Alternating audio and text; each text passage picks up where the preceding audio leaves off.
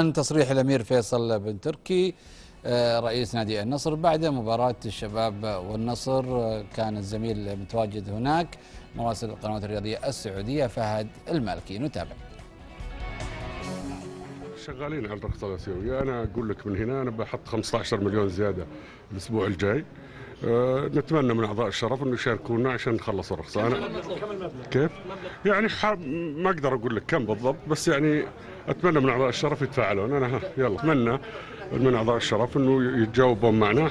زي ما قلت لك أنا بحط من حسابي الخاص 15 مليون الأسبوع الجاي. أه ما مدانه يعني ما مداني إيه، وقع مع الشباب قبل.